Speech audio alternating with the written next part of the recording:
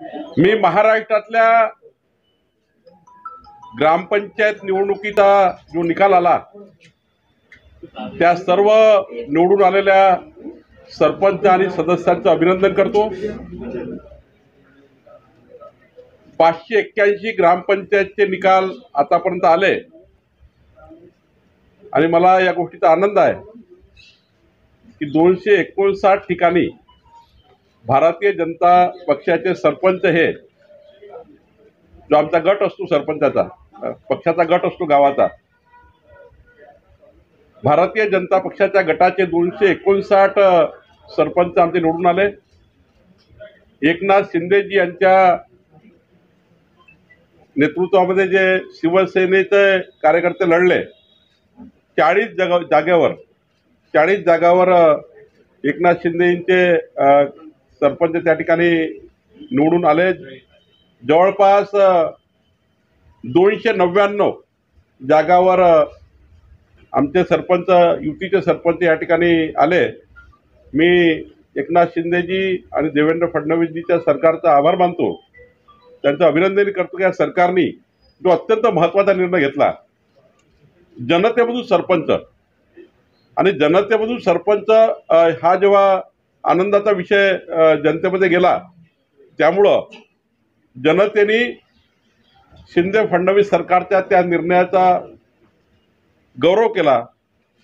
आणि आज मतदारांनी शिंदे फडणवीस सरकारच्या बाजूने मतदान केलं. जवळपास पन्नास टक्केच्या वर पन्नास टक्केच्या वर सरपंच आणि ग्रामपंचायती भारत जन भारतीय जनता पक्ष आणि शिंदे गटांच्या या युतीला मिळालेल्या आहे. मी पुन्हा एकदा राज्याच्या भारतीय जनता पार्टीच्या अध्यक्ष या नात्याने सर्व मतदारांचे सर्व सरपंचांचे सर्व कार्यकर्त्यांचे मनापासून आभार मानतो. सरपंच निवडीचं आपण बोलतो पण आता राज ठाकरेंनी टीका केली आहे की ज्या पद्धतीने प्रभात पद्धती होते ही कुठेतरी स्वतःचं राजकारण करण्याकरिता क- केलं जात आहे. पक्ष याच्यातून लोकांचं काम होणार नाही मात्र लोकांचं नुकसान मात्र होईल. नाही दोन गोष्टी आहे. ग्रामपंचायतच्या निवडणुकीमध्ये माननीय एकनाथ शिंदे फडणवीस सरकारने जो निर्णय घेतला जनतेमधून सरपंच व्हावा. म्हणून महाराष्ट्राच्या जनतेने त्यांचं अभिनंदन म्हणून त्यांचं स्वागत म्हणून आज जवळपास तीनशे एक ग्रामपंचायती या पाचशे एक्क्याऐंशी पैकी माझ्याकडे पाचशे एक्क्याऐंशीचा आकडा आहे या निवडून दिला आहे याचा अर्थ शिंदे फडणवीस सरकारवर जनतेचा विश्वास आता निर्माण झाला आहे दुसरं माननीय राजसाहेब जे बोलले प्रभाग पद्धतीबद्दल महाविकास आघाडी सरकारने चूक केली होती की नगरपालिका महानगरपालिका नगरपंचायतमध्ये दोन हजार अकराच्या सेन्ससप्रमाणे जे आता अवेलेबल सेन्सस आहे त्या सेन्ससप्रमाणे प्रभाग पद्धती करायला पाहिजे होती. पण ग्रामविकास नगरविकास कायद्याच्या सेन्सस कायद्याच्या बाजूला जारू बाजूला सारून सर्व कायदे बाजूला सारून महाविकास आघाडी सरकारने साडेचार टक्के जनसंख्येची वाढ दाखवली. त्यांना अधिकार नव्हता.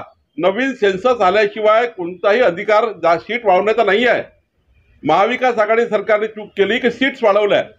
आणि त्यामुळं घोड झाला. फडणवीस शिंदे सरकारने जो निर्णय घेतला तो कायद्याप्रमाणे घेतला आहे सेन्सस अवेलेबल सेन्ससमध्येही तुम्हाला निवडणुका घ्याव्या लागतात. तुमच्याकडे सेन्सस नसताना तुम्ही साडेचार टक्के वाढवल्या कशा? आणि त्यामुळे त्यांनी जो निर्णय घेतला फडणवीस सरकारने हे सेन्ससनुसार निर्णय घेतला आहे दोन हजार अकराच्या. त्यामुळे आता सुप्रीम कोर्टामध्ये केस आहे. सुप्रीम कोर्ट काय निर्णय देईल त्यावर त्यावर पुढचं अवलंबून आहे. पण प्रभाग पद्धतीचा गोंधळ हा शिंदे फडणवीस सरकारने केला नाही. प्रभाग पद्धतीचा गोंधळ हा महाविकास आघाडी सरकारने केला आहे.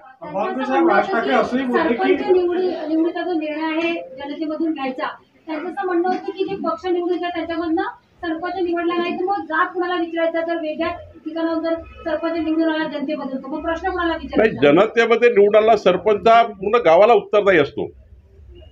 जर ग्रामपंचायत सदस्यामध्ये सरपंच झाला तर तो एका वार्डाचा असतो. एका वार्डातला मेंबर निवडून येतो आणि त्यातून सरपंच होतो.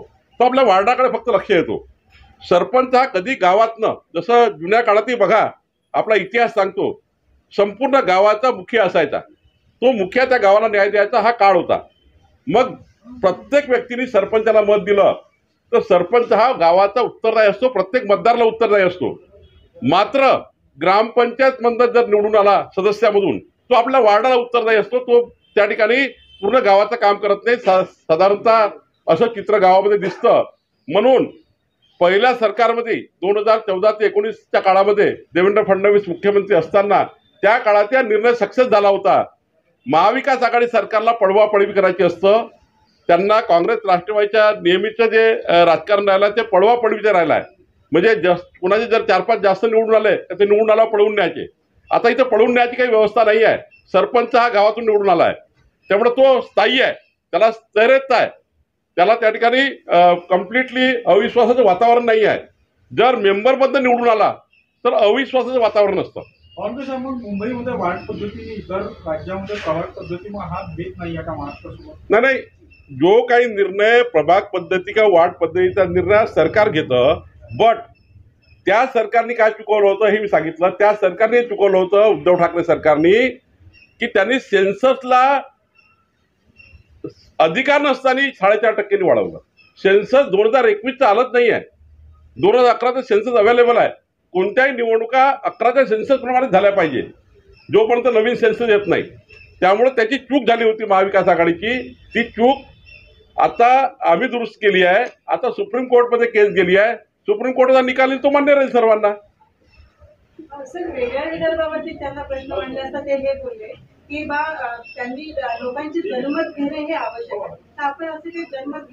नाही असं आहे. कुणाचं काय जन्मत घ्यायचं ते त्यांचा तो प्र- प्रश्न आहे.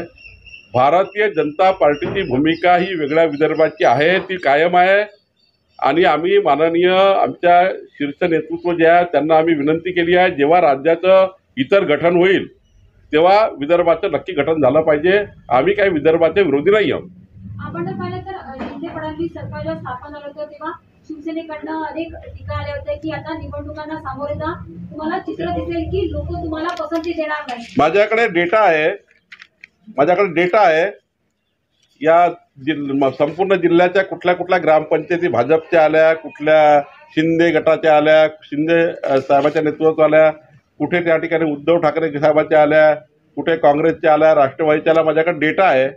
हा निकाल जो आहे ना हा निकाल सांगतोय की एकनाथ शिंदे देवेंद्र फडणवीस सरकारवर जनतेचा विश्वास बसला आहे. उद्धव ठाकरेजी तुमच्या सरकारवर विश्वास आता उडाते सरकारचा विश्वास नव्हता त्या काळात लोकांना. या सरकारचा विश्वास आता सरकारने प्राप्त केला आहे शिंदे फडणवीसांची बुलेट ट्रेन आणि महाविकास आघाडी सरकारचे ॲटो याच्यामध्ये खूप फरक आहे. तो तीन चाकी ऑटो होता. ही बुलेट ट्रेन आहे. ही बुलेट ट्रेन या कागदावरनं दिसत आहे म्हणूनच या ठिकाणी पाचशे एक्क्याऐंशी पैकी तीनशे ग्रामपंचायतचे सरपंच शिंदे आणि फडणवीसांच्या नेतृत्वात निवडून आले आहे त्यामुळं त्यांना हे मान्य करावं लागेल ऑटोला की बुलेट ट्रेन निघाली आहे म्हणून.